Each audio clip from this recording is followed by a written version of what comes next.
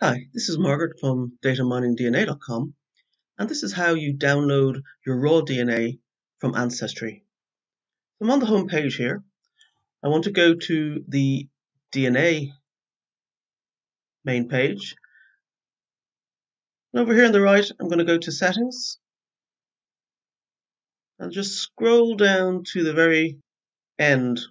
This last section here with actions, this is where you download your raw DNA data.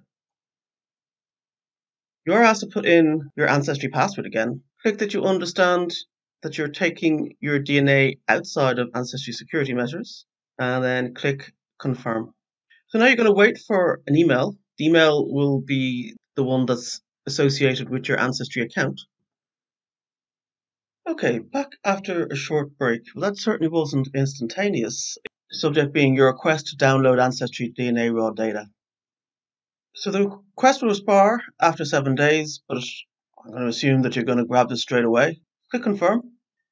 And now you can download data. Click the green button here and then wait. You see down here, it is what? It's 5.6 meg file. So down it comes. So it's coming down in zip format. It goes into your downloads folder. I'll just show in folder here.